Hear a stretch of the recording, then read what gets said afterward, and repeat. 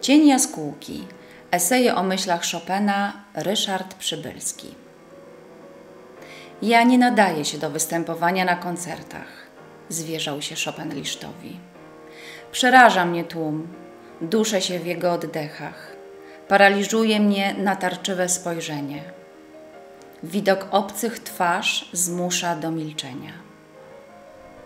Z tego lęku przed tłumem, z zamiłowania do intymności muzycznej, Chopin uczynił narzędzie najbardziej wyrafinowanego sposobu ujarzmiania publiczności, jaki zna historia muzyki.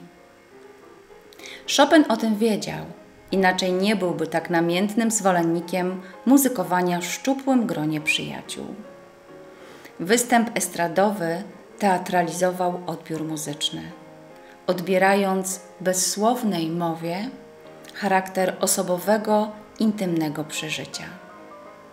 Pęd do domowego muzykowania był w tamtych czasach, poza wszystkim innym, wyrazem sprzeciwu wobec despirytualizacji uczuć, którą przyniosły masowe koncerty muzyczne.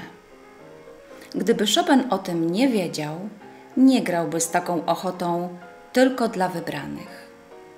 Romantyczny artysta rozróżniał wybranych, których opinia miała dla niego znaczenie rozstrzygające, i szeroką publiczność, która nie potrafiła zajrzeć w głąb istoty dzieła sztuki.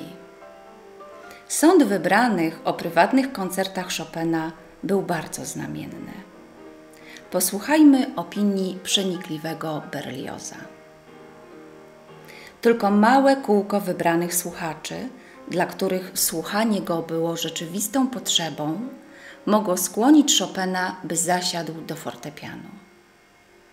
Jakież wzruszenie wówczas wywoływał, w jak płomienne i melancholijne marzenia potrafi przelewać swą duszę. Zazwyczaj koło północy wypowiadał się bez opamiętania. Gdy już odeszły wielkie lwy salonowe, gdy przedyskutowano polityczne tematy dnia, gdy plotkarze pokończyli swoje anegdoty, gdy wszystkie sieci zostały zastawione, a wszystkie wiarołomstwa popełnione gdy już do gruntu zmęczono się prozą, wtedy, posłuszny niemej prośbie jakichś pięknych, wymownych oczu, stawał się poetą i opiewał osjaniczną miłość bohaterów swych marzeń, ich rycerskie radości i cierpienia swej dalekiej ojczyzny, ukochanej Polski. Grał więc nie dla salonu, lecz dla wybranych.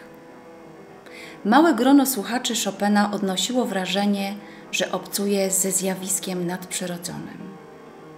Chopin urzekał słuchaczy nie tylko samym pięknem słyszanej muzyki, ale i świadomością, że dokonuje się coś wielkiego.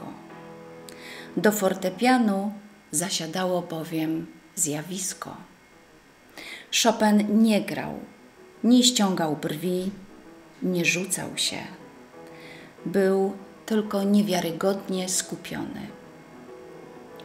Każdy odczuwał, że ma przed sobą człowieka głęboko zamyślonego, że grając Chopin przekazuje myśli.